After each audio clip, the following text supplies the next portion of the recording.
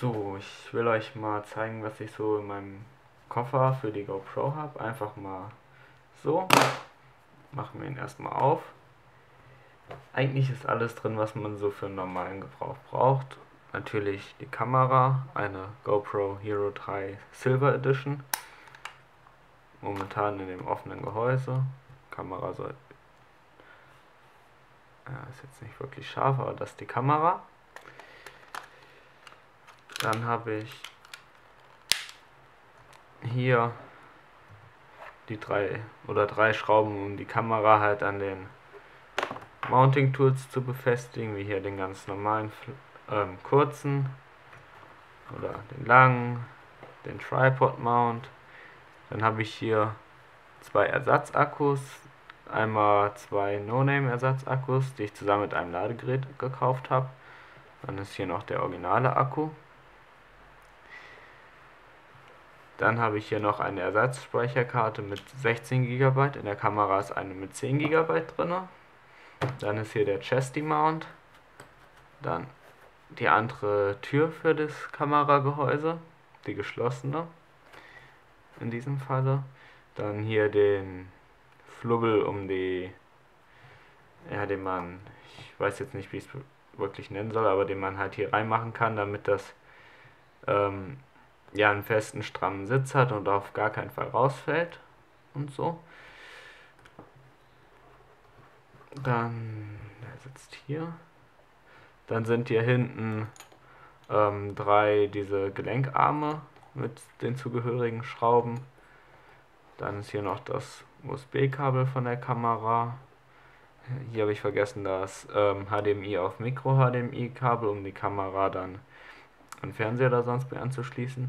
Dann ist hier das ganz normale Stromkabel für die fürs Ladegerät. Das Ladegerät ist hier. Einen guten strammen Sitz. Das war mit den zwei Akkus zusammen für 25 Euro. Da dachte ich mir, kann ich es mal testen und es hat sehr gute Dienste erwiesen. Hat einen 12 Volt Anschluss fürs Auto und einen 220 Volt Anschluss bzw. 110 funktioniert auch, habe ich getestet.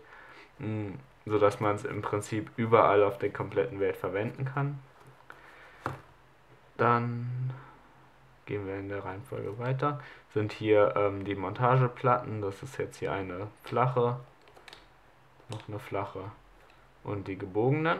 Also wenn man mal unterwegs ist, alles dabei. Dann ist hier der kleine ähm, ja, Rohrbefestigungs Schlauchschellenteil. Ich weiß nicht, Handlebar Mount ist glaube ich der offizielle Ausdruck. Ist das Unterteil, das Oberteil und die zwei Schrauben. Dann habe ich hier noch ein Ersatzgehäuse und das ist nagelneu, kratzerfrei. Dann ist hier der ähm, Suction Cup Nummer also Version 2, der Saugnapf mit dem dazugehörigen ähm, Ersatzteil. Falls man mal schnell fährt, für die Sicherheit würde ich einfach eine, einen Band dran machen, wenn es in der Nähe was zum Festbinden gibt. Dann habe ich hier den ähm, das Kopfband hatte ich am 1. Mai mit dabei, war ganz lustig. Mm, und dann hier natürlich das, was man braucht. Gaffer, in diesem Falle Gewebeband von Patex, aber ist im Prinzip dasselbe wie Gaffer.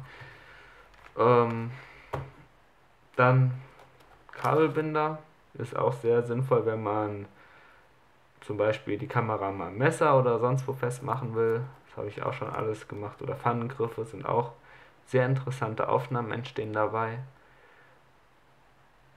Ja, das war im Prinzip alles, was ich drin habe. Ich würde sagen, alles für den normalen Gebrauch. Hier der Brustgurt, den habe ich noch nie getestet.